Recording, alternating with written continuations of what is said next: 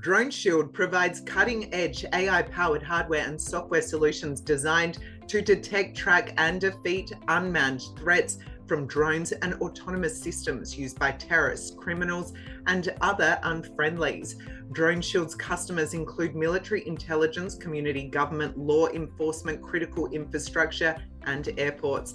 And this year alone, Drone DroneShield's stock has soared 400% and hit record highs. Joining me to discuss more is DroneShield's CEO and Managing Director, Oleg Vornik. Oleg, welcome to the Stock Network. Thanks for having me.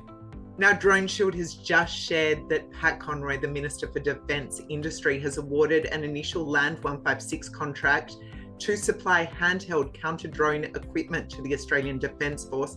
Can you outline what these, what funds that DroneShield will, will receive, and also what the significance is of this award?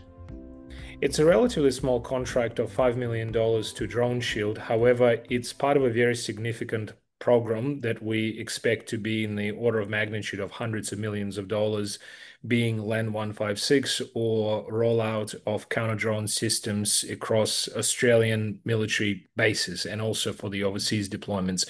So, this is the very initial step, which is the rollout of handheld equipment, but then there'll be follow on systems or, or, awards that we expect to get uh, or announced whether uh, it is to us or somebody else uh, over the uh, next six to 12 months. Excellent. Now, DroneShield also recently unveiled plans to invest $13 million in R&D, research and development, of course, and manufacturing capacity expansion. What kind of return on investment are you expecting and how soon will it be reflected on your balance sheet? Today, we have approximately $500 million annual production capacity, and we are expecting to increase that to about 2.4 billion a year by the end of next year. That'll be achieved in several ways. One, we are moving into a brand new Sydney-based, much larger, about three times larger manufacturing facility. And also our two Australian contract manufacturers are expanding at the same time, along with the rest of our supply chain. Also, we're setting up contract manufacturers in Europe as well as the US for those markets. And you may have seen in Europe now there's a massive mobilization for defense. And as part of that, there is an 800 billion euro rearm Europe plan. And for that, there is a strong emphasis on local European made. So that's part of the reason why we're setting up production in Europe, but there's also sales office in Europe and generally much stronger presence compared to historically doing it through in-country distributors, which is how we've been doing it around the world. So return on that, look, we are currently sitting on um, close to 160 170 million of locked-in revenue for the year. Um, it's going to be by far our record year already. We did 57 million last year, which was in itself a record year. So we just want to make sure that we're one step ahead of our sales, so we're not hitting bottlenecks uh, in terms of ability to fulfill orders as they grow. Speaking of records, you also have just won a $61.6 million European military contact, contract, which of course is your biggest ever.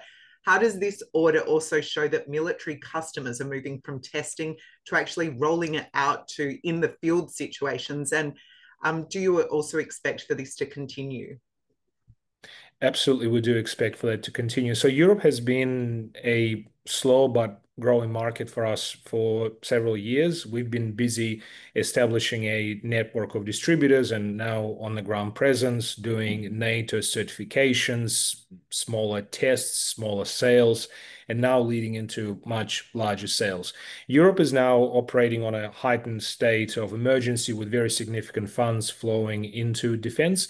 And within that, obviously, all, eyes are on Ukraine and with drones and counter drone equipment being key. And also, importantly, very low market saturation, right? So, unlike other military equipment like tanks, helmets, guns, which lots of places, lots of countries have plenty of, drones are such a new thing that nobody really has nowhere near enough either drones or counter drone equipment to deal with other people's drones. So because of that, there is now significant urgency. And all the work we've been doing over the last several years, positioning ourselves as the global leader in the counter drone equipment, is really paying off. And on top of it, being Australian is actually a great advantage. Australia is seen in the current geopolitical climate a neutral, supportive country, and it certainly doesn't get caught up in politics like some other countries do, especially in Europe at the moment.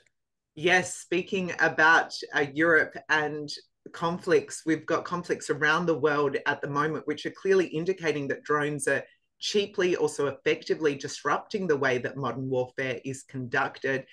How can AI add to drones' military specific effectiveness? And also, what's the financial upside to Drone Shield from these trends? AI or artificial intelligence is used significantly both in drones themselves as well as in counter drone equipment, which is what we do.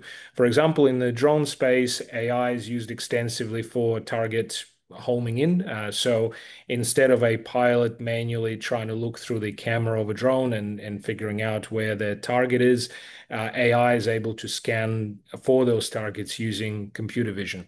On the flip side, which is what we apply, AI can be used to detect never seen before drones.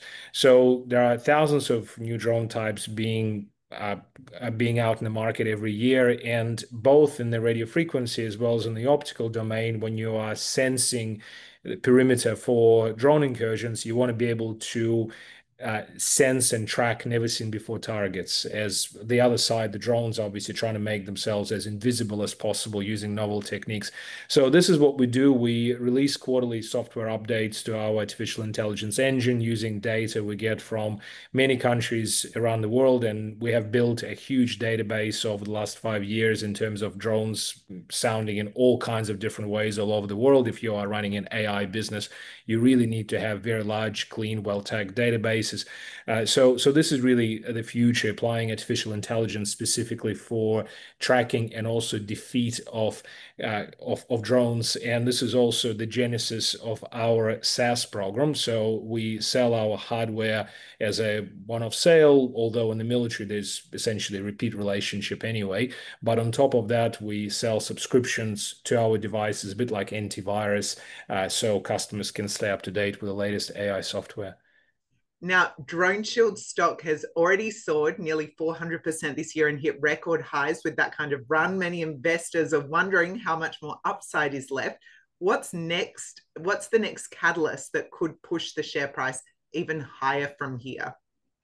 There are several types of catalysts as I see it. So we have on sales front a $2.4 billion pipeline, and that's across about 250 opportunities, so diversified across geographies, types of products, Um, stages of maturity of the pipeline. And importantly, because market saturation is so low, even customers that are giving us those large contracts, like the 62 million contract we announced or the 9.7 Latin American contract that we announced just before and $32 million Asia Pacific contract we announced in April, all of those customers are already discussing with us larger follow-on contracts because uh, those kind of contracts that we just talked about are very small compared to the actual requirement that they have. So this is still uh, the very beginning. So sales is the first one. Then in terms of technology, we're working on a number of really exciting new technologies. We've got a team of about 250 engineers now, and a lot of those will start rolling out in 2026 to deal with all novel techniques that drones use themselves.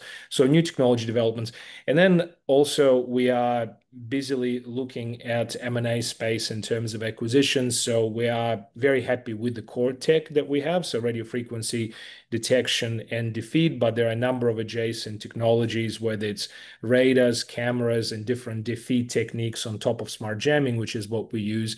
So uh, to the extent that we meet somebody who we feel can add to our capability inorganically, uh, that'll be uh, an acquisition target for us. And, and this would be uh, essentially sort of five eyes, Western world type opportunities. Uh, so it's, it's a pretty global search for us. Well, Oleg, thank you for the update. It's great to see your record run and a string of strong announcements. Look forward to seeing what's next for Drone Shield. Thank you.